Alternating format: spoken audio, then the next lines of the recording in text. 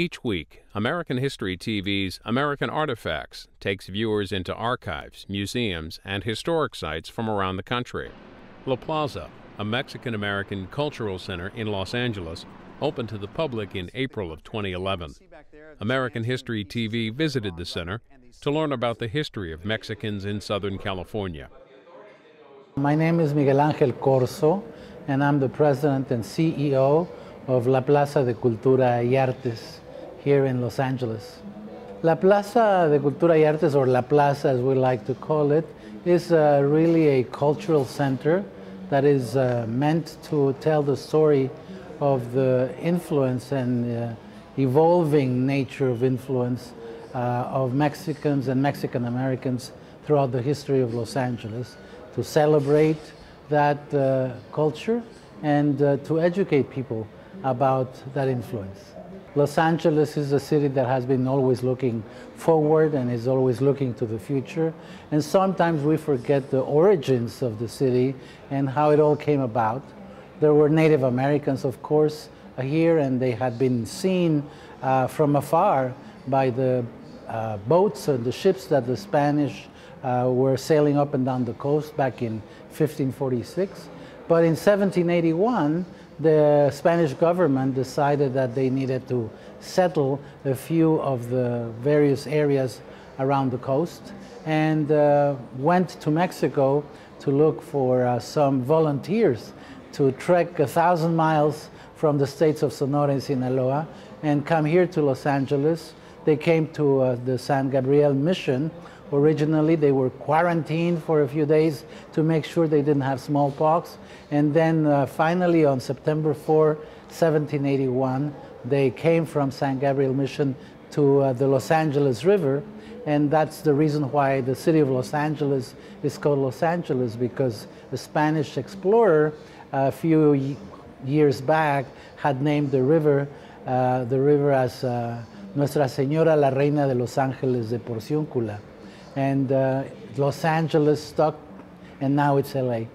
This place was like Siberia back then, if you were in New Spain. Imagine if you were uh, a hardscrabble farmer in what we now call Sonora or Sinaloa.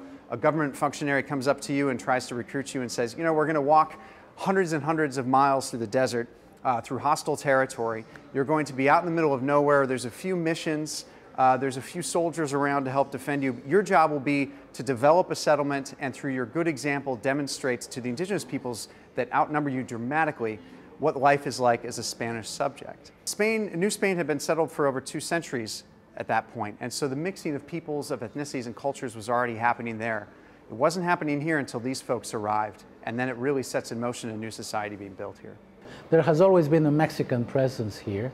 Uh, the Mexican presence started in 1781.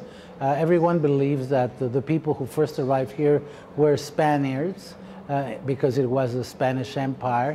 In fact, of the 44 original settlers, only two were Spaniards, and the rest were either native Mexicans or they were a mixed breed, a mixture of Spanish with native Mexican or a mixture of Spanish with African. So from the very beginning, Los Angeles has been a diverse city made up of uh, various ethnicities. What you will see here, first of all, on the ground floor, is uh, an exhibition of the history of Los Angeles from 1781 through present times. Uh, it is seen uh, basically through the eyes of the Mexican and Mexican American influence and experience, uh, because that's one way of telling the story uh, and it has been a very important story. And then we also have another exhibition called Calle Principal. This is an evocation of Main Street, Los Angeles, back in the 1920s, with uh, different types of uh, commerces that existed 100 years ago. And this is one way of uh, seeing how much Los Angeles and downtown Los Angeles has evolved.